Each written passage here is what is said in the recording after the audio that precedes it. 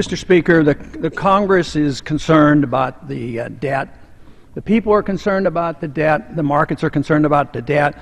The world is concerned about the debt and what we're doing here today because uh, we live with a world fiat dollar standard, and so the whole world is engulfed in this uh, very serious problem. I do not understand, though, that if the debt is the problem, and I agree, the debt is the problem, that for us to come here and raise the debt by $2.4 trillion is the solution. That just baffles me. I think it's a distraction because when a country gets indebted to the degree that we're indebted, the country always defaults. This is historic, especially if the country is a significant country. On occasion, a small country will quit sending the checks and they'll go bankrupt.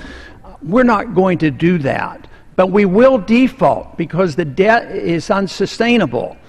This year, it is said that we have a debt increase of $1.6 trillion, but that's not true.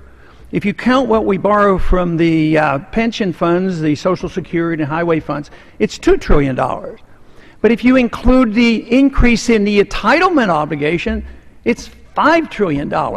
So this is a huge, huge problem. But, how, but the argument here is how do you default? And uh, it is said that if we don't raise the debt limit, we're going to default and not send out the checks. I don't believe that for a minute. Somehow or another, the checks are going to go out. But if you really wanted to live within the technicalities of law, there's a very simple thing you could do. We owe the Federal Reserve $1.6 trillion. Well, that's not a real debt. They bought those Treasury bills with money out of thin air. We could just write that off or quit paying the interest, tide ourselves over and get down to serious business and cut back and live within our means. And that would be a solution.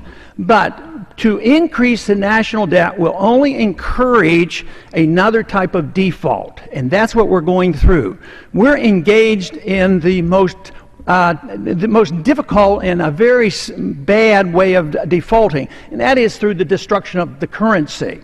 Today, we have an inflation rate of 9% and that is defaulting. So if a government can default and print money, and they, if they can get a 50% inflation rate over a period of time, they've cut that debt in half. That is the goal. That is what's happening, and that is very, very serious. Just in these last three years, in dealing with this crisis, the dollar has been devalued 50% against gold. And gold, of course, is the best measurement of the value of a currency. It's been that way for thousands of years, and it cannot be denied because it's economic law.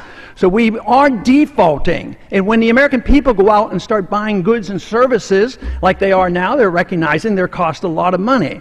So right now, we're in the early stages of rampant inflation, which means we're going to be hit with higher prices and higher interest rates. That is going to be a tax. So I see the only solution, and that is to cut spending.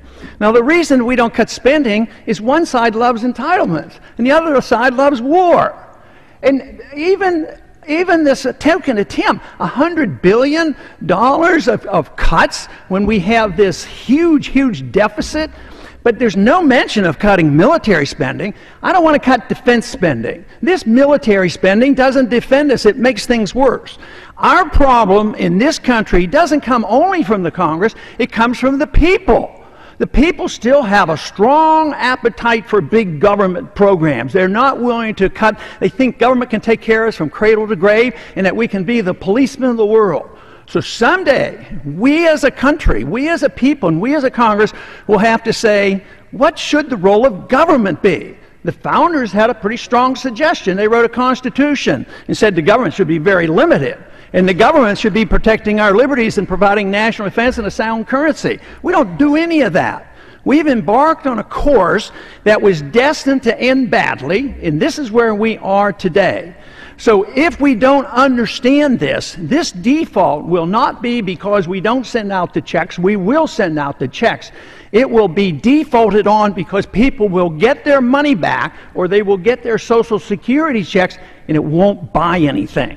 That is much, much worse than facing the fact that we not raise the debt limit and work our way out of this. That is devastating economically and it's devastating politically because we just saw a taste of what happens, how the anger is built when you see other countries in Europe now defaulting and can't pay their bills. So this is more significant than ever because we provide the reserve currency of the world.